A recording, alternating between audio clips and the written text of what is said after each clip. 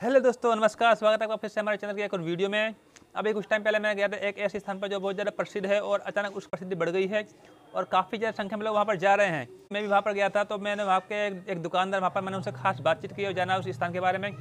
आखिर क्या खास स्थान पर? आप ये वीडियो मिस पर करना आप वीडियो पूरी देखना आपको पूरा पता चलेगा आखिर क्या खास स्थान पर लोग क्या इतनी संख्या में जा रहे हैं। तो वीडियो बिल्कुल मिस मत करना वीडियो शुरू से अंत तक पूरी वीडियो देखना आपको एक एक जानकारी मिलेगी इस वीडियो के अंदर। तो पूरी इसके बारे में जानकारी हम कोई दुकानदार होगा उससे बात करेंगे। इन भाई से पूछेंगे कि आखिर यहाँ पर ऐसी क्या बात है? दो दो तीन तीन घंटे जाम लगा रहता है इतनी भीड़ होती। हम आ चुके हैं पता दिन माता। यहाँ पर कुछ ऐसा नज़ारा काफ़ी ज़्यादा भीड़ वैसे अभी उतनी भीड़ नहीं है क्योंकि सुबह का है बस अभी आठ बजे है। यहाँ पर पहली बार आया हूँ। तो बाकी जाकर अंदर पता करते हैं यहाँ पर क्या कैसे है और जो भी जानकारी होती है आपको बताते हैं। तो देखिए कुछ इस तरह का यहाँ का नज़ारा है।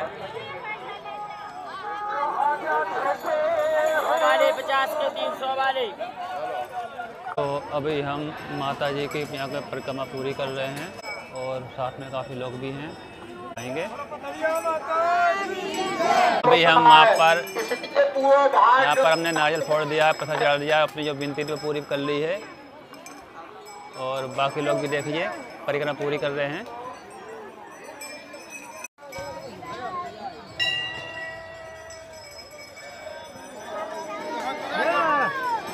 काफ़ी ज़्यादा भीड़ हो रही है और हम जा रहे हैं दूसरी जगह पर। हम चल के दिखाते हैं दूसरी जगह पर कहाँ पर क्या है। और फिर वहीं मिलते हैं आपसे। और यहाँ कुछ इस तरह की दुकानें हैं, आप देख सकते हैं। और काफ़ी ज़्यादा चहल पहले भीड़ भाड़ ज़्यादा है। तो पूरी इसके बारे में जानकारी हम यहाँ कोई दुकानदार होगा उससे बात करेंगे, पूरा उससे जानेंगे कि यहाँ पर किस तरह की श्रद्धा या इस और किस वजह से यहाँ का ज़्यादा प्रसिद्धि हुई है, लोगों की आस्था बहुत ज़्यादा बढ़ गई है। पूरा हम इस पर बात करेंगे अभी। यहाँ पर आप देख सकते लोग यहाँ पर परिक्रमा लगा रहे हैं। यहाँ पर लोगों की जो श्रद्धा है जो भी लोग मनोकामना पूरी होती है और अभी हम यहाँ परिक्रमा लगाएँगे। तो अभी हम इन भाई से पूछेंगे कि आखिर यहाँ पर ऐसी क्या बात है कि जो इतनी ज़्यादा भीड़ हो रही है और भीड़ कब से हो रही है? तो भाई पहले अपना नाम बताइए। मेरा नाम पवन जोशी है और आलीपुरा से आया हूँ। बाकी बताएँगे यहाँ के बारे में शुरुआत से क्या कैसे मतलब किस तरह प्रसिद्धि हुई है और लोग ऐसे आ रहे हैं काफ़ी ज़्यादा श्रद्धा लोगों की। बता पूरा। ये हमारे यहाँ के एक बुनकर हैं जो उनके हाथ पैरों से वो मतलब पीड़ित थे तो यहाँ पे ये पेड़ है तो वो यहाँ से गुजर रहे थे। तो वहाँ पे एक पेड़ के पीछे एक बामी है। तो उससे आवाज़ आई थी कि आप यहीं पे परकम्मा लगाओ वगैरह। यहाँ शुरू से ही पहले से पत्थर डले डलते आ रहे मतलब काफ़ी काफ़ी पहले से लेकर पहले जब प्रसिद्ध। प्रसिद्धि अभी कुछ टाइम पहले मिली है। उनको अच्छा तो पूरा प्रसिद्धि मतलब कितना टाइम हुआ प्रसिद्धि को मिले हुए? ये चार महीने। अच्छा चार महीने हो चुके हैं और काफ़ी ज़्यादा लोग अभी आ रहे हैं। हाँ। तो भीड़ जो जितना भी हम भीड़ देख रहे हैं तो क्या भीड़ इससे ज़्यादा होती है? हाँ इससे अभी तो मतलब खेतों का काम मूंगफली वगैरह पट रही तो इतनी ज़्यादा नहीं हो रही दो दो हफ़्ते से। तब भीड़ लगती कि आलीपुरा पूरा मतलब जाम हो जाता। दो दो तीन तीन घंटे जाम लगा रहता है इतनी भीड़ होती। हाँ अभी ना हमें वहाँ पर परिक्रमा करने गया था तो लोग ना पाँच पाँच छोटे छोटे पत्थर लेके जा रहे हैं। तो इनके बारे में बता लोग पाँच पत्थर कैसे ले जा रहे हैं और ये लोग वहाँ पर क्यों फेंक रहे हैं? ये भाई यहाँ जिस शुरू से ये डलते आ रहा है। तो माता ने भी ये कहा है वो जिनसे बात हुई थी मतलब बामी में जिनसे बात हुई तो उनने कहा माता जी ने कहा कि ये पाँच पत, पत्थर डालते डालते जाओ पाँच परिक्रमा मतलब वो करते जाओ। तो आपकी पूरी मतलब जो कुछ भी है सब सही हो जाएगा पीड़ित कुछ भी मतलब दर्द मतलब कहने कहने का मतलब है अगर आपको शरीर में किसी भी तरह की कोई समस्या होती है हम उनकी परिक्रमा करो श्रद्धा के साथ और जैसे बताया भाई ने छोटे छोटे पाँच पत्थर आपको परिक्रमा लगाने और पाँच पत्थर डालने के करके तो आपके पास जो भी दिक्कत होंगी सब सही हो जाती हैं। हाँ, जैसे अभी उन्हीं को दिक्कत थी तो उनका सही हो उनने उन बगल वाले को बताया तो उनका सही हो फिर उनने हमें भी बताया तो हमें भी पता चला तो हम भी आए, पाँच परकम में लगाए तो हमारे भी पैर सही हो गए पहले हम निंग नहीं पाते थे, इतने दर्द होते थे, हम रोते थे। इन्होंने बताया कि इन्होंने जो पैर में दिक्कत थी, शुरू से दिक्कत नहीं थी, अचानक बीच में दिक्कत हो गई है।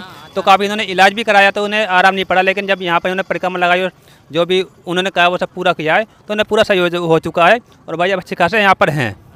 तो यहाँ पर इनके बारे में कुछ और बताएँगे? मतलब ये जगह जो वहाँ कहाँ से कितने दूर है? अगर कोई हरपालपुर से आता है छतरपुर से आता है कितने कितना टाइम लगता है? कितने दूर है? छतरपुर यहाँ से चालीस पड़ जाएगा। यहाँ से आलीपुरा से आओगे तो चालीस पड़ जाएगा छतरपुर से आओगे। हरपालपुर से आओगे तो पंद्रह किलोमीटर चिरवाई से आ जाओगे। यहाँ से भी पंद्रह पंद्रह बीस किलोमीटर यहाँ से आलीपुरा से पड़ेगा। यहाँ का जो मुख्य गाँव वो चिरवारी है?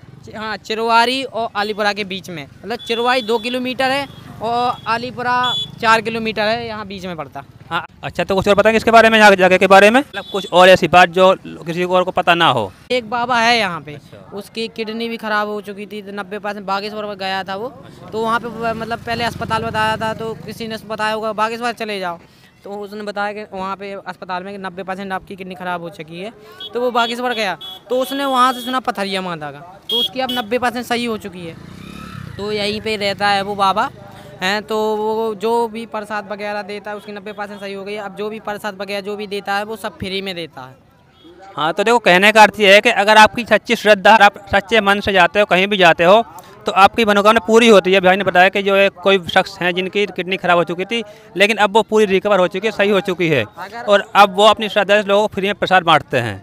यही है ना? हाँ अगर आप है ना कुछ प्रसाद चढ़ाओ चाहे ना चढ़ाओ ये नीम का घोरा पत्थर ज़रूर चढ़ा ये तो भाई कह रहे हैं कि नीम की जो हाँ जो भी इसे बोलते हैं नीम के पत्ते जो भी बोलते हैं तो आपको वहाँ पर ये लेके जाने पड़ते हैं छोटे छोटे पाँच पत्थर ले जाने पड़ते हैं और जैसे आप परिक्रमा लगाते हैं तो आपको पत्थर वहाँ फेंकते जाने हैं।